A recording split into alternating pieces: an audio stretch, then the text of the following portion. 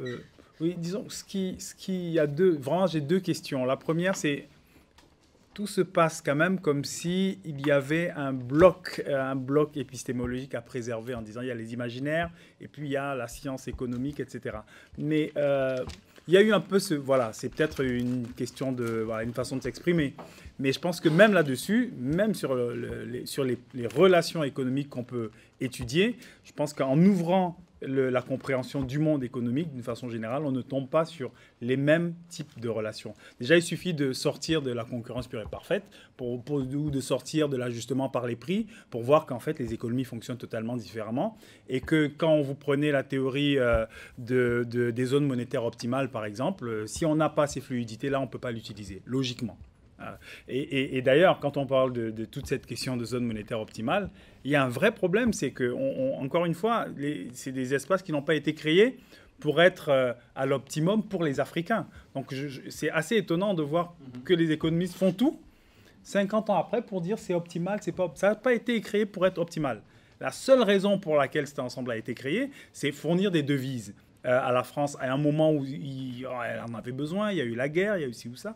C'est ça, Et, quand vous regardez sur la durée, c'est peut-être le seul espace qui, j'ai envie de dire, produit des devises excédentaires à la France, peut-être sur un siècle, hein, si on ferait vraiment la, série. C'est-à-dire qu'il y a toujours un excédent euh, commercial positif vis-à-vis des pays de la, zone dite la zone franc, et même d'une façon générale vis-à-vis des pays d'Afrique subsaharienne. Et c'est peut-être une des seules continuités euh, les plus logiques qu'on peut, peut trouver dans cet espace. Euh, donc, et là, ça, fait qu'on a d'autres logiques. On voit que le taux de change, on ne peut pas l'analyser euh, avec les variables habituelles, trouver un taux de change d'équilibre, etc. Ça ne fonctionne plus. Quel taux de change d'équilibre vous voulez avoir lorsque il suffit d'une chute des cours du pétrole de, de, je ne sais pas combien de pourcents pour qu'en six mois, des pays qui étaient excédentaires passent tous en déficit?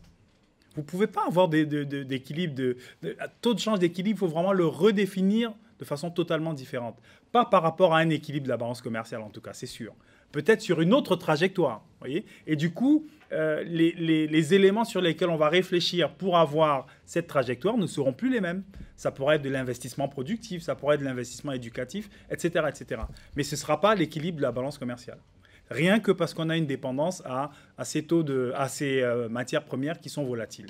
Donc je pense que le bloc, euh, considérer qu'il y a un bloc euh, des sciences économiques, etc., voilà, comme au 19e siècle, d'ailleurs ce sont des modèles sans État, ce sont des modèles sans monnaie, ce sont des modèles sans banque, ce sont des modèles sans entreprise, et on veut en discuter à fond pour parler des banques enfin, et de la monnaie.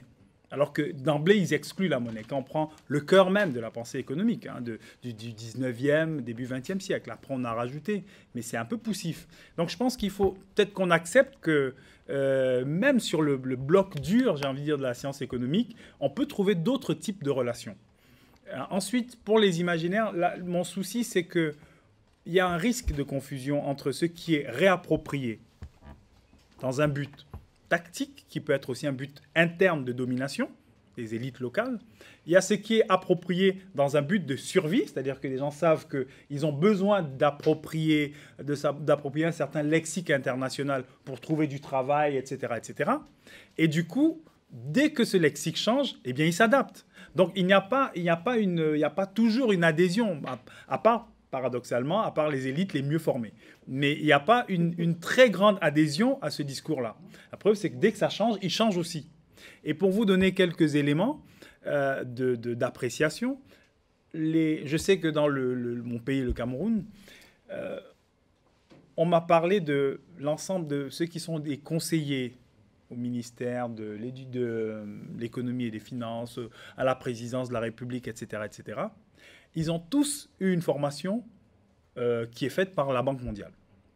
C'est-à-dire que quand une délégation de la Banque mondiale vient, par exemple au Cameroun ou dans un autre pays d'Afrique, donc le, grand public se dit en fait, les économistes ou les experts camerounais vont discuter avec les experts de la Banque mondiale. En fait, vous avez des maîtres qui parlent à leurs élèves. Bon, ça, vous coupez. Hein.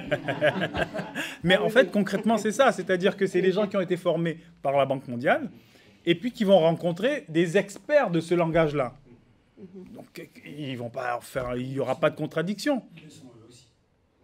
Euh, ah oui, non, mais je sais, oui, je, je suis tout à fait d'accord, mais je veux dire qu'ils sont experts quand même à un moindre, à un moindre niveau que les autres. Euh, je pense. Donc, je suis pas sûr que. Bon, aujourd'hui, on en a qui, sont, qui passent de la Banque mondiale à, d'autres institutions, moins, moins libérales, entre guillemets, excuse-moi le terme, qui passent de la Banque mondiale à d'autres institutions moins libérales. Ils changent de credo euh, le jour où ils changent de position. Donc, euh, c'est pas facile de dire. Hein.